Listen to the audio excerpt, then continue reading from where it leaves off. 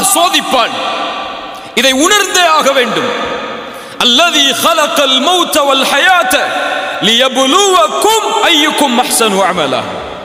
அல்லாஹ் வாழ்வையும் மரணத்தையும் படைத்ததன் நோக்கமே உங்களை சோதிப்பதற்காகத்தான். சோதனையிலிருந்து யாரும் விதிவிலக்காக மாட்டார்கள். பாவிகள் மட்டும்தான் இந்த உலகத்தில் சோதிக்கப்படுவார்கள் என்றால் நபிமார்கள் ஏன் சோதிக்கப்பட்டார்கள்? அல்லாவுடைய தூதர் சொன்னார்கள் இந்த பூமியிலேயே அதிகமாக சோதிக்கப்பட்டவர்கள் நபிமார்கள் தான் என்று. அல்லாஹ் சோதிப்பான். சோதனைக்காகத்தான் இந்த உலகம். சோதனையில் இரண்டு உண்டு. ஒன்று அல்லாஹ் கொடுத்து சோதிப்பான் இன்னொன்று அல்லாஹ் எடுத்து சோதிப்பான். அல்லாஹுடைய விதியை பொறுத்தவரை கொடுப்பதும் சோதனைதான் எடுப்பதும் சோதனைதான். சொல்லுங்கள். அல்லாஹ்வுடைய விதியை பொறுத்தவரை கொடுப்பதும் சோதனைதான் எடுப்பதும் சோதனைதான். ஆழமாக உள்ளத்தில் பதிய வைக்க வேண்டும். அல்லாஹ் கொடுக்கின்ற செல்வம் சோதனை. அல்லாஹ் கொடுக்கின்ற ஏழ்மை அதுவும் சோதனை. அல்லாஹ் கொடுக்கின்ற கண்ணியம் அதுவும் சோதனை. அல்லாஹ் கொடுக்கின்ற இழிவு அதுவும் சோதனை. அல்லாஹ் கொடுக்கின்ற சுகம் அதுவும் சோதனை. அல்லாஹ் கொடுக்கின்ற நோய் அதுவும் சோதனை. இப்படி அல்லாஹ் உலகத்தில் எதை கொடுத்தாலும் எதை எடுத்தாலும் அல்லாஹுடைய பார்வையில் அது சோதனை தான்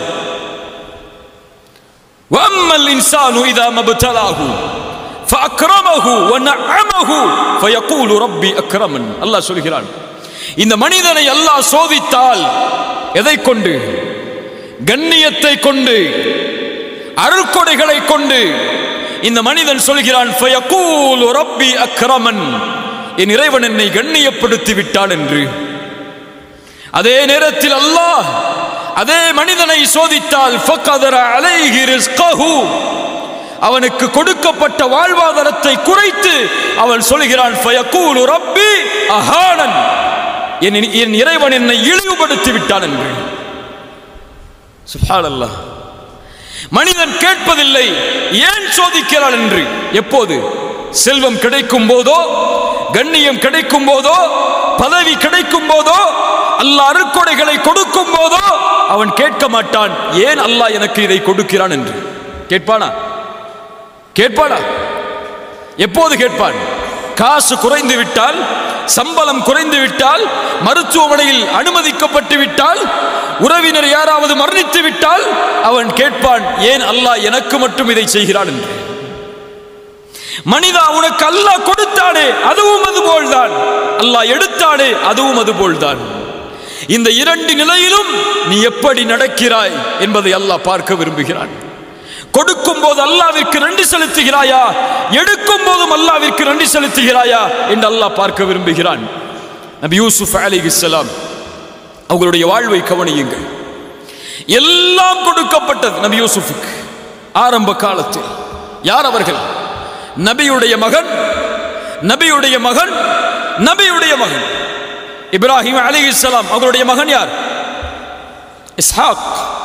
அவருடைய மகன் யார்? யாக்கூப். யாக்கூபுடைய மகன் யார்? யூசுப். சுப்ஹானல்லாஹ் அல் கரீம் இப்னு கரீம் இப்னு கரீம் இப்னு அல் கரீம். அல்லாவுடைய தூதர் சொல்வார்கள் கண்ணியமானவரின் மகன் கண்ணியமானவர் கண்ணியமானவரின் மகன் கண்ணியமானவர் கண்ணியமானவரின் மகன் நபி யூசுப் என்று சொல்வார். நபிமார்களின் வம்சத்தில் பிறக்கிறார். ஒரு நபியின் குழந்தையாக இவ்வளவு பெரிய அருட்கொடை. பதினோரு சகோதரர்கள் தனக்கு. தந்தையின் நேசம் தன் மீது. அழகான குணத்தோடு அழகோடு. என்ன அழகு? ரசூலுல்லாஹி ஸல்லல்லாஹு அலைஹி வஸல்லம் சொன்னார்கள் மிஅராஜுடைய பயணத்தில் நபி யூசுஃபை நான் பார்த்தேன். அல்லாஹ் அவன் படைத்த அழகில் பாதியை நபி யூசுஃபுக்கு கொடுத்திருந்தான். அவ்வளவு அழகு. அந்த அழகை அல்லாஹ் கொடுத்தான் குடும்பத்தை கொடுத்தான் கண்ணியத்தை கொடுத்தான் கொடுத்ததை அல்லாஹ் கொஞ்சம் கொஞ்சமாக அவர்களிடமிருந்து நீக்குகிறான். எந்த குடும்ப உறவு எந்த நபியின் மகன் என்பது அவர்களுக்கு அல்லாஹ் கொடுத்த அருக்கொடையோ அந்த தந்தையை விட்டு அல்லாஹ் பிரித்தார் நபி யூசுஃபை. சகோதரர்களுடைய நேசத்திற்கு ஏங்கினார்கள் பிரித்தார் அல்லாஹ். கிணற்றில் தூக்கி வீசப்பட்டார்கள் ஒரு நபி கிணற்றில். கிணற்றில் வரக்கூடிய வழிப்போக்கர்கள் வியாபாரிகள் இவர்களை சந்தையில் விற்போம் என்று சகோதரர்களிடத்திலே விலை பேசி ஒரு அற்ப கிரயத்திற்கு மதிப்பில்லாத காசிற்கு நபி யூசுப் சகோதரர்களாலே விற்கப்படுகிறார் அவர்களுடைய கண்களுக்கு முன்னால். ஒரு குழந்தை எப்படி ஏற்றுக்கொள்ளும்? மிஸ்ருக்கு அழைத்து செல்லப்பட்டு சந்தையில் ஒரு நபி அடிமையாக விற்கப்படுகிறார். இந்த அடிமையை விலைக்கு வாங்குபவர் யார் என்று அல்லாஹ் ரப்புல் ஆலமீன். ஒரு அரசவையில் மந்திரியாக இருக்கக்கூடியவருக்கு வாய்ப்பை கொடுக்கிறான் நபி யூசுஃபை வளர்ப்பதற்கு. மனைவியிடத்திலே கொண்டு சென்று சொன்னார்கள் இவரை கண்ணியப்படுத்துவோம். எமக்கு வேலையாளாக பயன்படுத்துவோம்.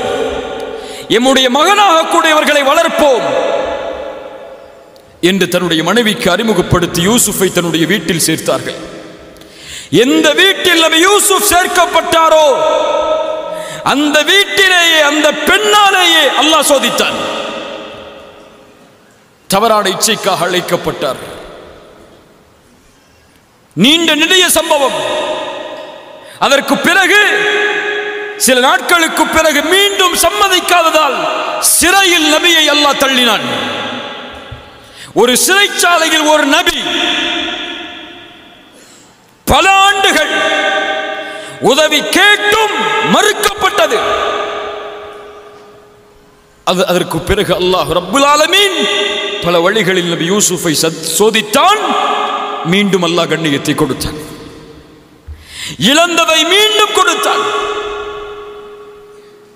அந்த அரசவையிலேயே ஒரு அமைச்சராக ஆகக்கூடிய வாய்ப்பு. எந்த சகோதரர்கள் விரட்டினார்களோ அந்த சகோதரர்களை உதவிக்காக கையேந்தி அவர்களுக்கு முன்னால் நிற்கும்படி அல்லாக்கினான் இப்படி எல்லா சோதனைகளையும் அல்லாஹ் நபி யூசுஃபுக்கு கொடுத்தால் இந்த எந்த சோதனையிலும் நபி யூசுப் அலைஹிஸ்ஸலாம் ஏன் அல்லாஹ் எனக்கு இதை செய்கிறான் என்று கேட்கவில்லை. ஏன்? இது அல்லாஹ் படைத்த உலகம். இது அவனுடைய விதையின்படி இயங்கக்கூடிய உலகம். இதில் எதை அவன் நாடுகிறானோ அதை செய்வான். எதை அவன் நாடவில்லையோ அதை செய்ய மாட்டான். அதில் ஏன் என்று கேட்கக்கூடிய உரிமை இந்த உலகத்தில் படைக்கப்பட்ட எந்த படைப்பிற்கும் கிடையாது. அதே வாழ்க்கை நபியை ஒப்பிடுங்கள். முகம்மது ரசூலுல்லாஹ் ஸல்லல்லாஹு அலிஹி வசல்லம் கண்ணியத்தோடு வாழ்ந்தவர்கள் மக்காவுடைய வீதிகளில். நாற்பது ஆண்டுகளுக்கு பிறகு நபித்துவம். நபித்துவத்தை வெளிப்படுத்தியவுடன் சோதனை ஆரம்பிக்கிறது. பெற்ற கண்ணியம் இழக்கப்படுகிறது. சேர்த்து வாழ்ந்த உறவுகள் வெறுக்கிறார்கள். ஊரை விட்டு ஒதுக்கி வைக்கிறார்கள். பசியால் வறுமையால் நபி வாடுகிறார்கள். அபூ தாலிபின் மரணம்.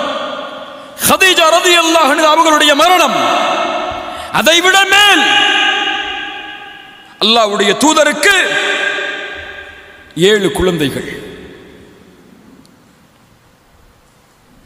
ஏழு குழந்தைகள் அந்த ஏழு குழந்தைகளில் அல்லாஹ்வுடைய தூதர் உயிரோடு வாழும் போது ஆறு குழந்தைகளும் மரணம் ஆறு குழந்தையையும் ரசூலுல்லாஹ் கபூரில் இறங்கி தன்னுடைய கரத்தால் அடக்கம் செய்திருக்கிறார். எவ்வளவு பெரிய சோதனை இது. ஒரு குழந்தையின் இழப்பை இழந்த பெற்றோரிடத்தில் சென்று கேட்டு பாருங்கள். துடித்து விடுவார்கள். இவ்வளவு சோதனை. தன்னை ஏற்றுக்கொண்ட எல்லோரும் கொடுமைப்படுத்தப்படுகிறார்கள் விரட்டப்படுகிறார்கள். சொந்த ஊரை விட்டு இன்னொரு ஊர்.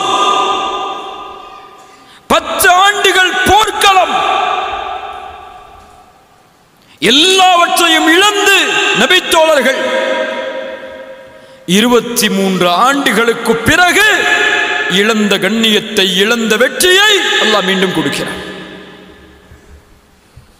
எதை கொடுக்கிறது இந்த பாடம்? எதை கொடுக்கிறது இந்த பாடம்?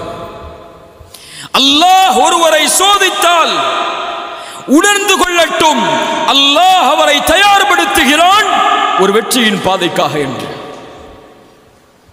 சோதனை வருவது வெற்றியின் அடையாளம். சோதிக்கப்படும் சமூகம் நன்மையில் நிலைத்திருந்தால் அதனுடைய கூலி இறுதியில் வெற்றி.